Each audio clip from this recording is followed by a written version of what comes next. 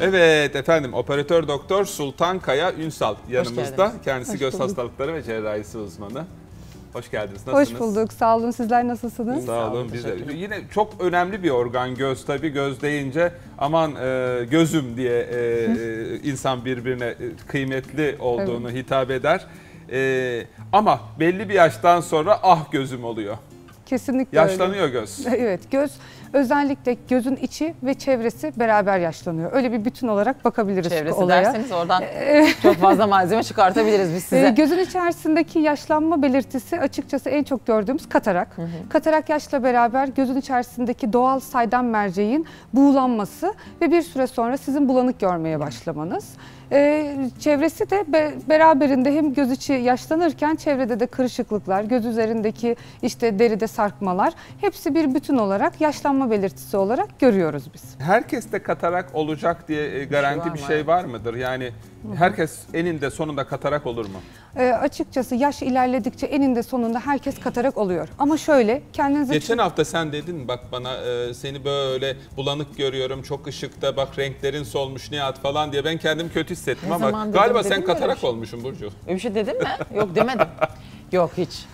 Gerçekten hiç onunla ilgili bir, yani gözümde mesela astigmatım var. İşte Evet. atıyorum gözümün önünden inen nelerim vardı benim hocam? İplik iplikçilerim iplikçilerimiz var. var. Evet. Onlar falan var ama kataraktım olmadığını Ama biliyorum evet yani. bu kadar gözler de katarak Sizi olmasın. yazık herhangi olur. bir göz asla hocam ışıksız ve şey bir şekilde göremez. Soluk bir şekilde göremez, Göremez. bence. Evet aynen. tamam güzel bağladık. Evet. Yaş itibariyle e, sonuçta herkes de olacaktır ama zamanlaması bizim nasıl yaşadığımızda, nasıl beslendiğimizi, nasıl işte strese maruz kaldığımıza göre değişir. Siz sigara kullanıyorsanız, alkol al- alıyorsanız, işte sürekli ışık maruziyetiniz varsa 40'lı yaşlarda da görülebilirken ya da bir diyabetiniz varsa, metabolik bir hastalığınız var varsa eğer e, fakat siz sağlıklıysanız, iyi besleniyorsanız, işte e, sigara içmiyorsunuz, düzenli uyku uyuyorsunuz, o zaman 90 yaşında, 100 yaşında da olabilir ki böyle hastalarımız oluyor. Hastamız yani 100 yaşında geliyor ancak katarakta olmuş. Artık hani görmesi yavaş yavaş gitmiş. Günlük e, şey yani fonksiyonlarını yapamaz hale gelince biz o yaşta da ameliyatını yapıyoruz. Tedavisi ameliyat mıdır? Evet. Kataraktın tedavisi maalesef ameliyat. Ne yapıyorsunuz ameliyatta? Ameliyatta- Ee, bu bir lens hastalığı yani o saydam olan lensin e, şey olması herhalde suyunu mu kaybediyor ne yapıyor? Göz içerisindeki bu saydam merceğin içeride yavaş yavaş katman katman yaşlandıkça katılaşıyor, esnekliğini kaybediyor. Esnekliğini kaybedince ilk önce yakın bozuluyor. Presbiyopi. Bu bir yaşlanma belirtisidir. Katarakta doğru giden ilk adımdır aslında. Daha sonra o oradaki esneklik kaybolunca içerisi de katılaşmaya başlayınca buğulanmaya başlıyor. Yani aslında göz içerisindeki merceğin metabolik bir e, bozulumu öyle söyleyeyim. Biz bunu ne yapıyoruz? Ameliyatla içerideki bu bozulan tabakayı temizliyoruz ve buraya kalıcı ömürlük bir lens yerleştiriyoruz. Mercek yerleştiriyoruz. Bu lensle beraber hasta tekrar görmeye başlıyor. Aslında çok güzel, tedavi edilebilir bir rahatsızlık. Hatta dünyadaki körlük yani tedavi edilebilir körlük nedenlerinin ilk sırasına gelir katarak. İki gözde birden aynı oranda görülüyor değil mi? Eşit bir şekilde. E, Bazen tek tek başlayabiliyor ama ortalama aynı oranda görülür. Peki ameliyatı iki gözü de aynı anda mı yapıyorsunuz? Hayır, yoksa? ameliyatı öncelikle yani bir gün tek gözü, en erken ertesi gün diğer gözü yapıyoruz. Ee, fakat hasta eğer e, yani anestezi alacaksa, işte akıl sağlığı yerinde değilse e, gibi faktörler varsa ortada mecbur biz o hastayı tek günde iki gözünü yapıyoruz. Ama risk oranı olarak biz aynı günde yapmamayı tercih ediyoruz. Ben annemi yaptırmıştım katarak. Ee, Evet. bir lazerle yapıyorsunuz değil? Aynen. Bir damla damlatıyorsunuz hemen saniyeler içerisinde oluyor. Kaç Ondan sonra e, şey her şeyi kocaman kocaman görmeye başladı annem e, be- belirli bir süre. Ondan sonra da şey dedi Allah razı olsun hadi öteki gözümü de yapalım o zaman. Önce bir korkmuştu yaptırmaya. Evet. E, sonra o kadar güzel görmeye başladı ki hadi dedi diğerini de yaptıralım. E, peki Ortalama bu- evet. pardon ortalama 5 dakika sürüyor Of, ameliyatımız. Evet. Ee, yani fakoemulsifikasyon e, yöntemi kullanıyoruz. Halk arasında lazer olarak biliniyor. Evet. Ee, gerçekten e, korkulmayacak bir e, cerrahi, iğne yok. E, direkt damla anestezisiyle Evet, yapıyoruz bir biz bunu. oluyor. Evet ve genellikle hastalar aynı şeyi söylüyor. Öncelikle tedirgin olanlar e, görüntü netleştiği zaman hemen ertesi gün diğerini de yapalım şeklinde geliyorlar zaten. Annenizin yaşadığı şey gerçekten çok yaşıyoruz Çok biz. çok mutlu oldu. İkisini birden yaptıramadı. Yapmadılar zaten. Evet. Önce birini yaptılar. Ötekine de Anne dur biraz iyileşsin de öyle gidelim. O kadar e, şey yaptı ki çok güzel görüyorum oğlum. Ötekini de yaptıralım. Bak bu ne güzel oldu falan diye. E, kadın haklı. Peki e, hangi rahatsızlıklarımız varsa size gelip e, katarak ameliyatı olalım? Eğer e, bulanık, Belirtiler neler katarak? İlk belirtiler yavaş yavaş bulanık görme, renklerde soluklaşma, ışık hassasiyeti, gece görmede e, bir miktar soluklaşma yani zorlanma öyle anlatayım. Gözlük takmanıza rağmen görmenin düzelmemesi.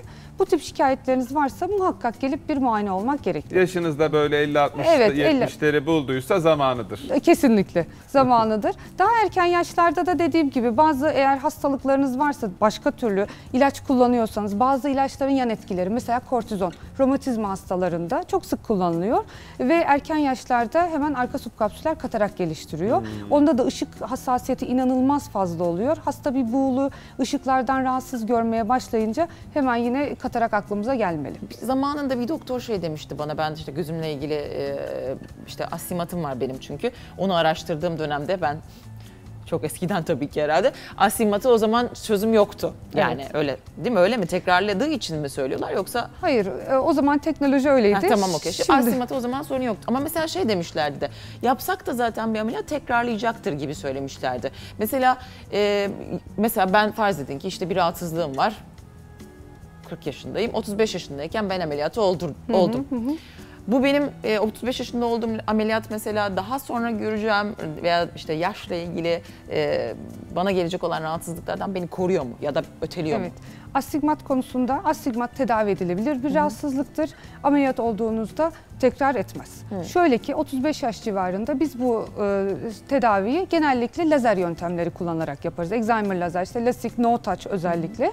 E, 35 yaşında olduğunuz zaman 40'a geldiğinizde bir şey değişmeyecektir. Ya da 50'ye geldiğinizde de bir şey değişmeyecektir. Diğeri de katarak ameliyatından sonra ne yapıyoruz? Akıllı lens koyuyoruz. Akıllı lens ömürlük lens E, ve ne yapıyor bize? uzağı, orta mesafeye yakını ve aynı zamanda bu e, şey gösterebiliyor. Aynı zamanda da sizin astigmatınızı da tedavi edebiliyor. Astigmat tedavi edildiği zaman tekrar yenilemez. E, Yani daha önceki teknolojilerde özellikle lazer uyguladığımız zaman da astigmat tedavisi gerçekten zordu. Fakat şu anda bunlar rahatlıkla yapılabilen e, ve çözümü olan e, tedaviler. Bize de çok soru geliyor. Astigmat sanki çok daha farklı bir rahatsızlıkmış gibi düşünülüyor. Değil aslında. Miyop nasılsa, hipermetrop nasılsa astigmat da aynen öyle bir rahatsızlık ve tedavisi var. Ben bu Rahatlıkla arada olabiliyor. astigmat ameliyatı oldum. Öyle mi? Evet. Ee, üniversite son sınıftaydım Evet. e, fakültedeyken. E, o zaman bir astibat e, ameliyatı oldum. Ben bir gözümden olacağımı zannediyordum. Gözümü açamadım tabii ameliyattan sonra gözümü bir açtım ne gördüm diyecektim. Açamadım çünkü Açamazsın. iki gözüm de kapalıydı. E, ve e, bir- e, şey arkadaşlar sırayla gelip bana refakat ediyorlardı. Falan öyle güzel böyle bir haftalık güzel bir anım var. Evet yüzey ablasyon yapmışlardır Evet. size. O biraz ilk günlerde batmalı ağrılı geçer. Uf. Ama birkaç gün sonrasında toparlar. Ee, yine hani mecbur korneanın kalınlığına göre, gözün yapısına göre aynı yöntemlerin tabii ki daha ileri versiyonları halen uygulanmakta. Peki şöyle sorayım. Ee, şimdi yaşlan eğer diyorsanız ki ikiniz de e, özellikle siz söylüyorsunuz mutlaka herkes yaşlandığında katarak olacak. Mutlaka. Ben yaşlandığımda mümkün olduğunca az yani ameliyat olmak istiyorum. Evet. Çünkü yaşlanınca insan biraz ama- daha çekiniyor. Kim beni yani belli olmaz yani sonuçta Allah gecinden versin tabii ama yani kim beni hastaneye götürecek ne yapacağız ne edeceğiz o belli olmadığı için ben önceden hani gücüm de varken yanımda arkadaşlarım işte ailemden insanlar hala hayattayken falan ameliyatı olmak istesem peki e, mantıklı mı? Şöyle Erkenden. erkenden eğer gözünüzde e, bozukluk varsa, Evet. gözlük takıyorsanız e, ve bundan rahatsızsanız ve dediğiniz şartlar, söylediğiniz şeyler de aslında bir yaşam koşulları içerisinde geçerlilik Evet. gösterir. Bu şeyi tabii ki daha önce taktırabilirsiniz. Yani akıllı lens uygulaması yapılabilir. Tabii yine gözünüzün yapısına bakılarak ama e, belirgin bir göz bozukluğunuz yokken keyfi olarak bunları yapmıyoruz. Peki. Bir soru da benim sorum var. Akıllı lensin adı niye akıllı? Akıllı çünkü yakını, ortayı ve uzak mesafeyi aynı anda bize gösterebiliyor. Diğer Şöyle anlatayım. Evet. ilk ö, etapta koyduğumuz lensler monofokal lenslerdi. Yani sadece uzağa gösteriyor ama yakına mecburen gözlük takmak zorundaydık. Hmm. Sonra multifokal lensler yine onlar da bir tür akıllı lenstir. Yakını gösteriyor, uzağı gösteriyor ama ara mesafede biraz Hmm. bulanıklık vardı. Şimdi trifokal lensler çıktı. Yeni versiyon akıllı lenslerde yakın cep telefonuna baktınız, saatinize baktınız görüyorsunuz.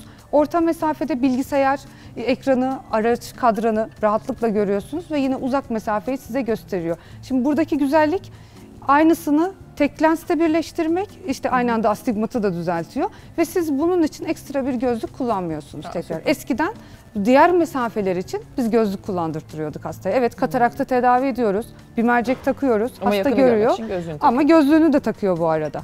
Buradaki espri biz akıllı lens koyarak içerisine neredeyse kendi gençlik dönemimizde yakına baktığında o zoom yaparak yakını görebilmemiz, uzağa baktığında uzağa görebilmemizi sağlayan e, görme kalitesini yakalayabilmiş olmamız. O yüzden akıllı lens. Hocam akıllı lensler çıktı, mertlik bozuldu. Evet. Yani e, gözlükçülük tarihe karışacak akıllı lensler sayesinde. Çünkü gözlük aynı zamanda bir aksesuar idi. Bu anlattıklarınızla ben e, ya bir zamanlar insanlar gözlerine böyle camlar, çerçeveler falan Ha. takarlarmış diye çocuklar konuşacak diye böyle bir hayal ettim şu an. Evet yani tabii ki gözlük ihtiyacımız giderek azalıyor ama şimdi her göze bunları uygulayamıyoruz. Tabii ki gözün yapısı, gözün içerisindeki anatomik yapıların uygunluğu bize bunlara izin veriyor. Herkese uygulayamayacağımız için gözlük mecburen hayatımızda olmak zorunda. Tabii ki büyük bir konfor ama tabii eskiye oranla ihtiyacımız, bağımlılığımız azalacak. Daha çok aksesuar gibi belki güneş gözlükleri e, E, ya Siz da şimdi e, öyle multiden sonra bir de kolorlu e, şey Evet. çıkartırsınız. E, Direkt böyle güneş gözlüğü gözünün içinde olur. evet Ee, yavaş yavaş onlar da tabii ki. gelecektir. Ya akıllı lens var işte şimdi e, trisi çıkmış. Bir de tricolor olur. E, olur, Olur evet. sana e, şeyli. Evet, Güneş zaten gözlüklü lens. Güneş gözlüklü Kesinlikle. lens. Onların üzerinde şu anda makule koruyucu kaplamaları var. İşte mavi ışıkları e, koruyucu filtreleri var. Tabii lenslerin üzerinde bunlar var. Ama gene de bir sürü hayatımızda yapay ışık olduğu için biz halen koruyucu gözlükler öneriyoruz. Ee, işte gece aşırı ışık maruziyetinde kalan hastalara gece sürüş gözlükleri öneriyoruz. Güneş gözlükleri öneriyoruz. Gözümüzü, göz çevremizi korumak için özellikle e, yani mecbur kullanacağımız aksesuarlar gözlükler. Süre konusunda hani diyorsunuz ya 5 dakika daha da kısasını yapabiliyoruz işte, işte falan. Hani deyince böyle 5 dakika çünkü çok e, aslında insanın hayatında böyle bir rahatsızlığı varsa seve Evet. seve ayıracağı bir süre yanlış Kesinlikle? Bir kesinlikle. kahveyi kaç dakikada içiyorsun? E yani 5 dakikadan daha uzun içiyor olabilirim yani. E, tamam bir kahve içene kadar iki gözünü biz hemen gel e, şey yapalım. Gerçekten bazen öyle yapalım. oluyor. Hasta başlıyoruz ameliyata. Hani tabii hasta rahatlasın diye işte nasılsınız? İyi başlıyoruz. İşte aman ben rahatlasın diye hep sorarım. İşte yanınızda kim var? Sizi bekliyorlar. Şimdi evet şudur vesaire derken hasta bitiyor. Bitti mi? Evet bitti diyorum. Gerçekten mi? Yaptınız mı? Gibi. Hani hasta da e, yani o sürenin farkına varamıyor bile. Yani İşlemi o yatırarak mı yapıyorsunuz E, peki? ee, önce oturuyor, sonra bir özel bir şeyimiz var, koltuğumuz var. Hafif yatırıyoruz. Tabii öyle yapıyoruz. Mikroskop altında çünkü çalışıyoruz. Mikroskop altında e, hem hastanın gözünü görüyoruz. Aynı zamanda ellerimiz ve ayaklarımız aynı anda koordine şekilde yaptığımız bir ameliyat. E, mutlaka hakimiyet için hastanın yatar pozisyonda ve rahat olması gerekir. Evet Sultan Hocam vallahi çok çok e, güzel anlattınız. E, Ağzınıza sağlık. E, Efendim programımız tüm hızıyla devam ediyor. Takipte kalın.